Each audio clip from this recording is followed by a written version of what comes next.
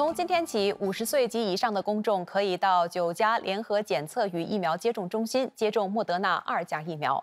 红帽桥的接种中心早上迎来了不少人。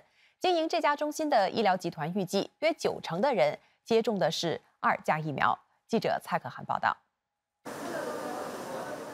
红帽桥联合检测与疫苗接种中心早上八点开始接受登记，不少人一早就前往接种中心准备注射莫德纳二价疫苗。到了早上十点，已有上百人前去接种。这个新的咯，新的莫德纳比较 strong，比较新了，比较好。那个 Pfizer 要等到年底，我没有时间等。因为我觉得现在疫情最近又升高很多，啊，先打比较安全一点啊，有一个保障。年底要旅行吧，要出国，所以尽快吧。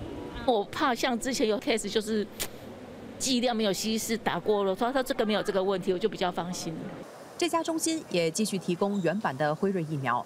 如果有民众想要接种辉瑞疫苗，现场有站牌引导他们到辉瑞疫苗的隔间接种。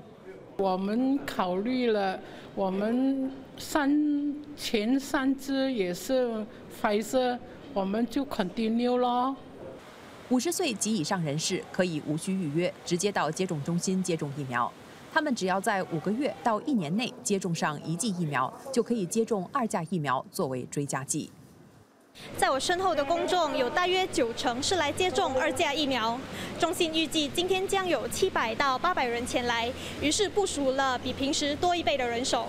新传媒新闻记者蔡可涵报道。